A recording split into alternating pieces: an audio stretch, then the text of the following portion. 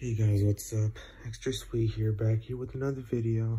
So, so today I'm just going to talk about, well, tonight I'm going to talk about something that, uh, I guess, I guess it's kind of heartbreaking.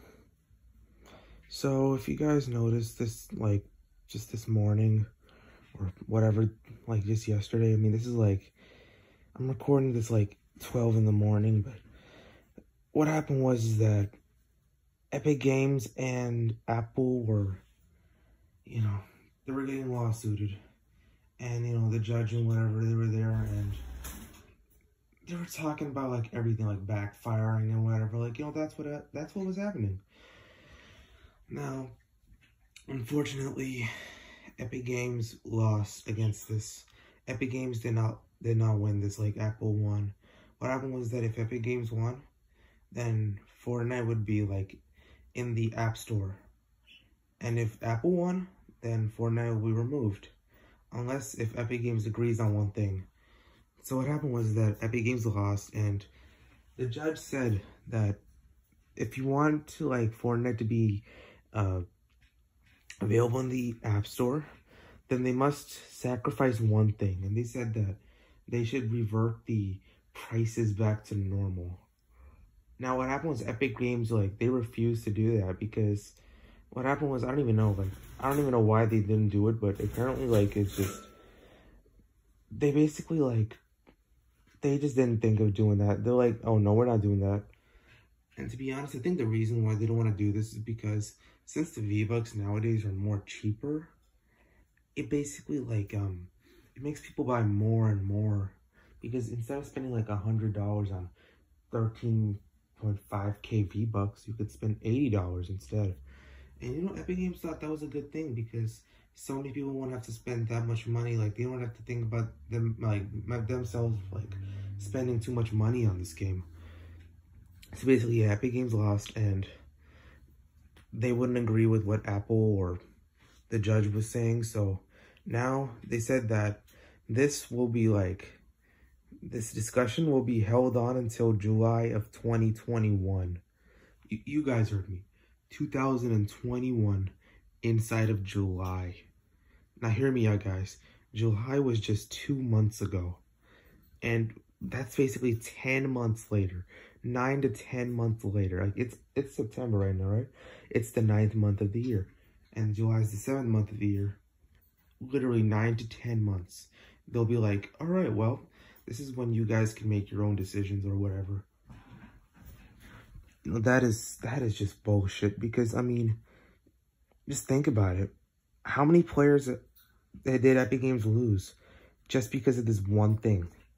Just because of this one thing. Like, this basically, like, this is, like, the one thing that ruined Fortnite. It wasn't, like, the, the recon expert coming back in the item shop or the Blaze skin being a different kind of, like basically being the new Renegade Raider default or the Galaxy Scout being like revealed in this game. while the, even though the Galaxy and the Renegade Raider are still rare skins, even though the Recon Expert's not anymore. But I'm just saying is like, this is like, this is the worst thing Epic Games has, well, worst thing that Fortnite's ever had. Like, I mean, we have 350 million active players like before this actually happened.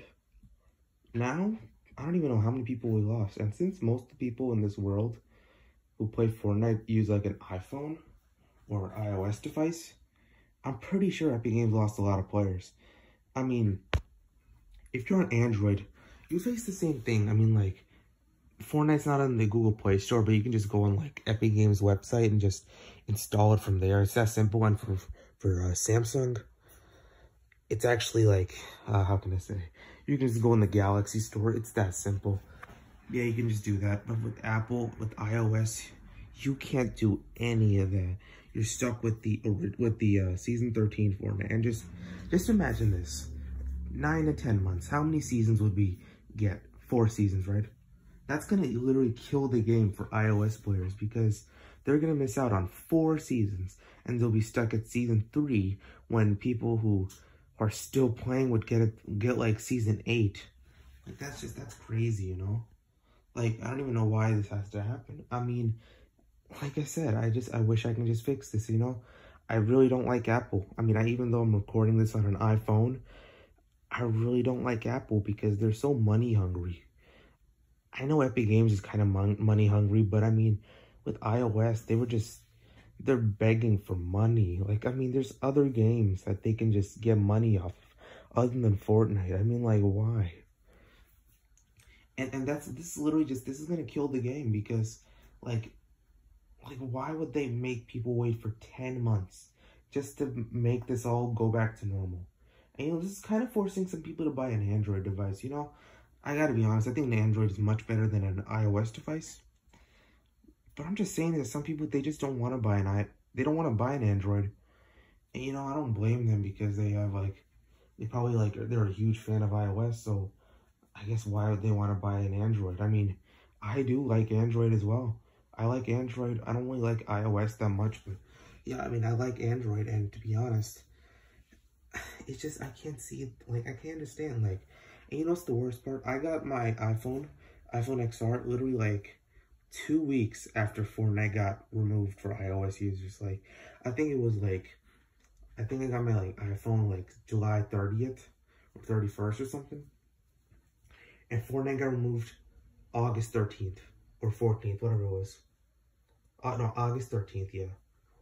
That's the day when Fortnite got removed from the App Store. And then, like, a few hours later, they removed it from the Google Play Store. You know, to be honest, I'm, I feel bad for you people. Like, if you play on an iOS device, I feel bad for you, you know? I honestly, like, they, they don't, you guys just don't deserve it because, I mean, you don't just deserve this, like, kind of thing because you want to enjoy this game with your friends, but if something like this is going to happen, what else can we do, basically? Like, I'm sorry, but just, I feel bad for anybody who plays on iOS. Like, they probably, this they can't just afford, like, a console or a, a PC or something, but they have to instead play on an iPhone. You know, I feel bad for you guys, and I mean, like, if you have an Android, well, good for you. You can play this game as much as you want.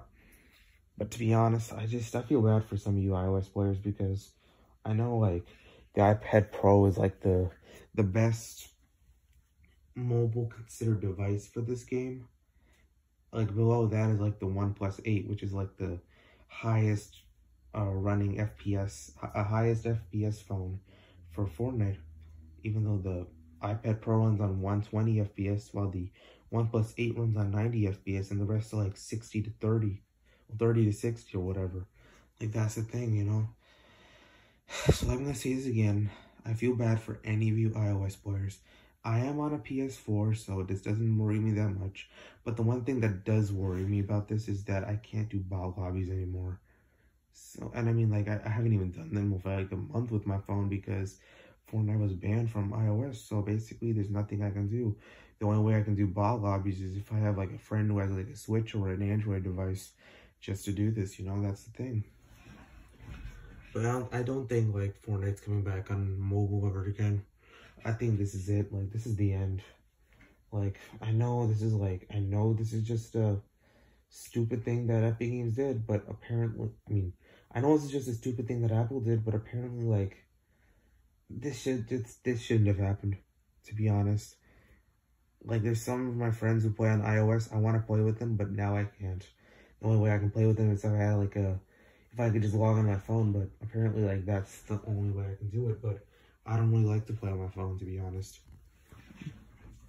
And plus I don't even know what's going to happen to Fortnite for iOS. Like I don't know what's going to happen to that. Like is it going to like, you know, be like actually removed? Like the whole app is going to be gone? Like is that what's going to happen?